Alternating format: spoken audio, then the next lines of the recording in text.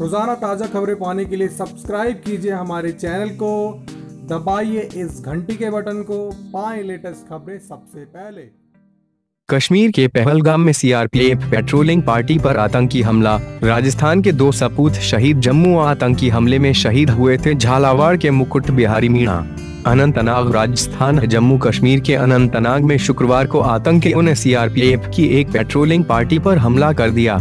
आतंकियों ने अचाबल चौक के पास सीआरपीएफ पार्टी पर अंधाधुंध फायरिंग की।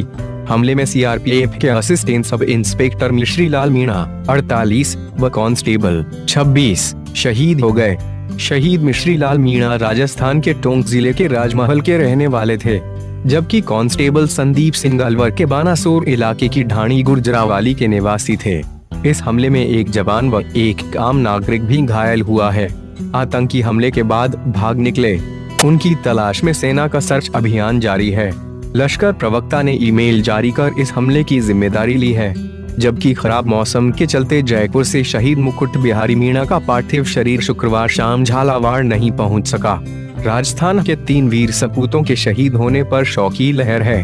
टोंक निवासी थे मिश्री लाल, बानासूर के थे संदीप मिश्री लाल। के परिवार में पीछे पत्नी एक, बेटा और दो बेटियाँ हैं। वे 8 फरवरी 2018 को ही दोनों बेटियों की शादी करके ड्यूटी पर गए थे। उधर, संदीप सिंह 2011 में सीआरपीएफ में कांस्टेबल पद पर भर्ती हुए थे। उन्होंने कहा कि खत्म होने पर वापस घर आएँगे। संदीप के परिवार में पत्नी मनीषा, दो बच्चे आशीष व अक्षत हैं। दोनों शहीदों का अंतिम संस्कार संभवतया शनिवार को किया जाएगा। मार्च में ही छुट्टी पूरी कर ड्यूटी पर गए थे मिश्रीलाल राजमहल, टोंक। पहला गाँव आतंकी हमले में राजमहल के सपूत सीआरपीएफ के सेक्शन कमांडर मिश्री लाल मीणा के शहीद होने की खबर मिलने के बाद उनके घर शौकी लहर छा गई है। उनका अंतिम संस्कार सैनिक सम्मान के साथ संभवतया शनिवार शाम तक इनके पैतृक गाँव में किया जाएगा। परिजनों के मुताबिक आखिरी बार मिश्री लाल की बात गुरुवार को मोबाइल पर उनके भाई हंसराज से बात हुई थी। शुक्रवार को सीआरपीएफ में एसआई के पद पर कार्यरत सेंक्शन कमांडर 8 से 10 जवानों को साथ श्रीनगर क्षेत्र के अच्छा बल अनंतनाग में पहलगाम रोड पर गश्त कर रहे थे। इस दौरान इनके दल पर आतंकियों ने हमला कर दिया। हमले में मिश्री लाल मीणा के दो गोलियाँ लगी। एक गोली गर्दन पर व दूसरी गोली सीने पर लगी।